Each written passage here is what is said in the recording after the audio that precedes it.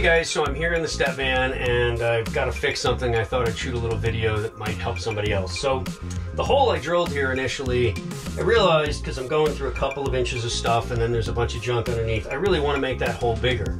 The problem is I've already drilled this. So if I attempt to drill this again, this pilot uh, basically bit has nothing to grab into and it's going to want to bounce all the way around. So this is the fix I have for that. Okay, so basically I made some lines here, kind of delineating where the center of the hole was, and then I want to move my hole a quarter of an inch, the center a quarter of an inch back that way, so I made some new lines. So now I'm going to take a piece of scrap wood, lay it in place, and screw it down.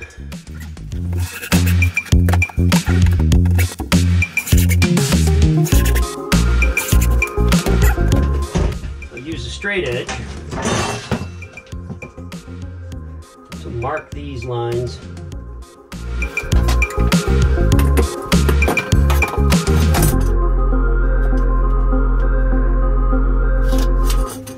Um, this is a much more powerful drill. I thought I'd get away with the other one, but uh, I don't really like these drills because they're they have a lot of torque and you really got to hold on see, I've cut through the first layer. Now I'm gonna knock this out.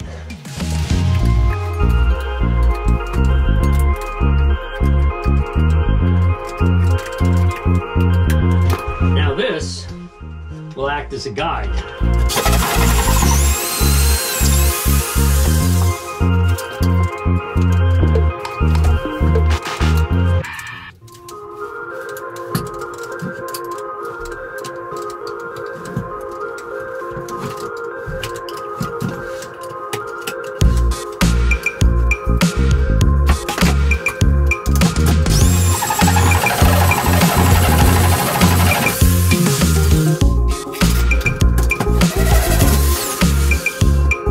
Yeehaw!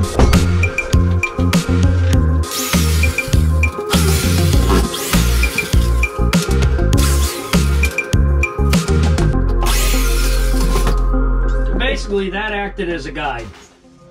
And I got a nice clean hole now. So, woohoo! All right, moving on.